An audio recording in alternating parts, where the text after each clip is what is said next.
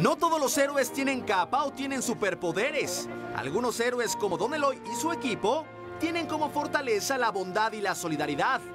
Es así como ahora, Don Eloy decidió preparar un rico pozole para hacer feliz a más de 250 personas. Con esta ocasión que vamos a estar pozolito, llegaríamos a 4.200 gentes.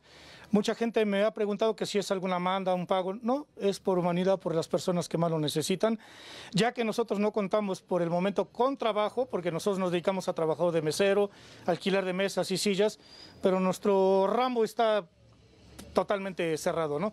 Y desde el año pasado que empezó la pandemia, desde marzo, con esta ocasión serían 22 ocasiones que se van a repartir alimentos. Pues todos nos sumamos en una parte humana, la humildad para todos nuestros paisanos.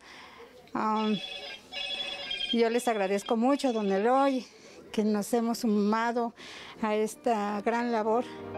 Uno a uno fueron llegando poblanos quienes seducidos por el olor de este platillo mexicano no lograron resistir el pedir un plato de pozole acompañado de su lechuga, rábano, tostada, su chile de árbol y orégano. Trato siempre de darles un menú diferente.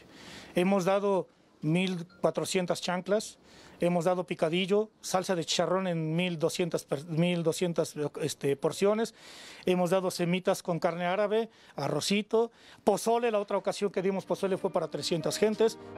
Hoy estas personas que disfrutaron de este pozole dan gracias por las muestras de amor. Muchísimas gracias, que Dios les socorra más, porque sí está muy exquisito el, el pozolito. Sí, gracias.